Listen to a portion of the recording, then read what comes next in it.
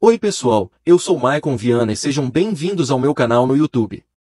Esse vídeo é uma parceria com o canal Saber Digital de Luciano Santa Clara e hoje iremos ler um trecho bíblico para você. Se você quiser mais, temos no canal uma playlist completa com várias passagens bíblicas, o link vai estar na descrição.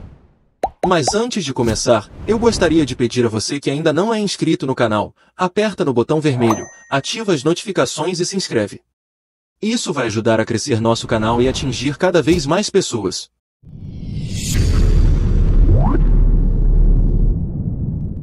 A Transfiguração de Jesus Passados seis dias, Jesus tomou consigo Pedro, Tiago e João, irmão de Tiago, e os levou em particular a um alto monte Ali ele foi transfigurado na presença deles.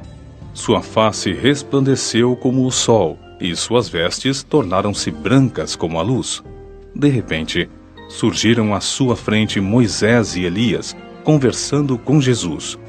Expressando-se Pedro, disse a Jesus: Senhor, é bom estarmos aqui. Se desejares, farei aqui três tendas: uma para ti, uma para Moisés e outra para Elias. Enquanto ele ainda estava falando, uma nuvem resplandecente os envolveu, e dela emanou uma voz dizendo: Este é o meu filho amado, em quem me regozijo, a ele atendei. Ao ouvirem isso, os discípulos prostraram-se com o rosto em terra e ficaram atemorizados. Então Jesus, aproximando-se deles, tocou-os e disse: Levantai-vos e não temais. Ao erguer os olhos, a ninguém mais viram senão somente Jesus.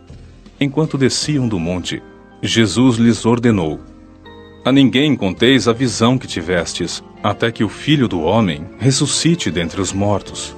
E os discípulos lhe perguntaram: Então, por que os escribas ensinam que é preciso que Elias venha primeiro?